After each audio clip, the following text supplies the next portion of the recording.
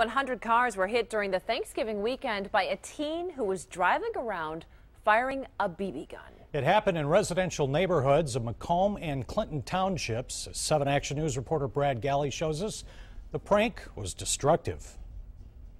The holiday weekend gives people a chance to get together with family and friends. In this Clinton Township neighborhood, people will be left with some less than warm memories. My parents have been here for, I don't know, 15 years, and nothing has ever happened like this. A pair of boys in a car drove past houses armed with BB guns and unloaded.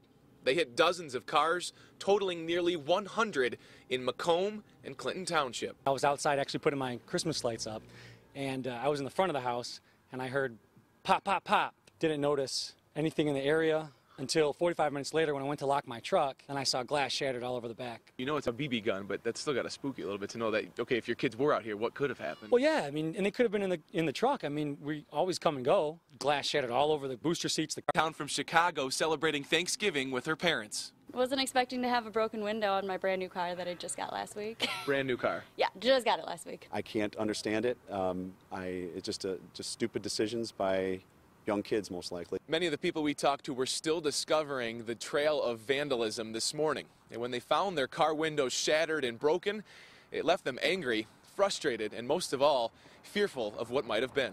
There's a lot of times where you're, you're, you're putting your, your children in the car, you're making runs in and out of the house. It's, it's scary. At this point, the Macomb County Sheriff's Department and the Clinton Township Police Department are working together in a joint effort, but they do not have anyone in custody. Hmm. In Macomb, Brad Galli, 7 Action News.